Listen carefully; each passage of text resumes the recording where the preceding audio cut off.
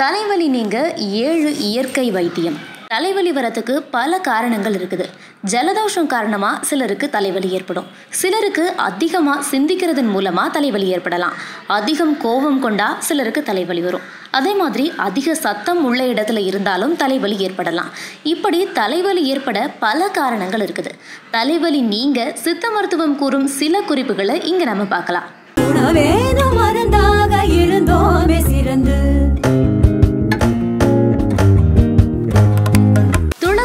முறுக்கு போன்றவை இயற்கை நமக்கு தந்த வரப்பிரசாத மூலிகைகள். இவைகள் மூலம் தலைவலியை எளிதில் குணப்படுத்தலாம். துளசி இலைகள் ஐந்து எடுத்துக்கொண்டு அதிலிருந்து ஒரு துண்டு சுக்கு மற்றும் இரண்டு லவங்கத்தை சேர்த்து நன்கு அரைத்து நெற்றியில தலைவலி இருக்கும் இடத்துல பத்து போட்டோம்னா தலைவலி விரைவில் நீங்கும். சிலருக்கு உடல் உஷ்ணத்தால கூட தலைவலி ஏற்படும். அது போன்ற சமயங்களில் சீரகம் மற்றும் கிராம்பை தண்ணீரில் போட்டு நன்கு கொதிக்க வச்சு அந்த நீரை பருகி வந்தால் சூட்டால் ஏற்படும் தலைவலி நீங்கும். அடுத்ததா பால் இஞ்சி சாறு மற்றும் நல்லெண்ணெய் ஆகிய மூன்றையும் சம அளவு எடுத்துக்கொண்டு மூன்றையும் சூடு செஞ்சு தலைக்கு தடவி ஒரு அஞ்சு நிமிஷம் நன்கு மசாஜ் செஞ்சு பின்பு சீயக்காய் போட்டு தலைக்கு குளிச்சா தலைவலி நீங்கும்.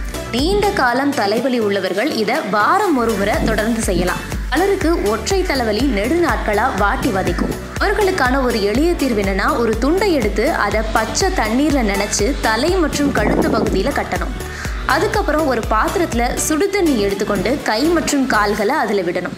இப்படி செய்வதன் மூலமா ஒற்றை தலைவலி நீங்கும். அடுத்ததா நொச்சி இலை சாறு தலைவலியை போக்கக்கூடியது. ஆகையால நொச்சி இலையை நன்கு பிழிந்து சாறு எடுத்து அதை நெற்றியின் இருபுறமும் தடவினா தலைவலி நீங்கும். சூரிய உதயமாகும் சமயத்தில் எருமை பாலோட வெள்ளை எள்ளு சேர்த்து நன்கு அரைச்சு அதை நெற்றியில பட்டு போட்டு சூரிய ஒளியில காட்டினா தலைவலி நீங்கும்.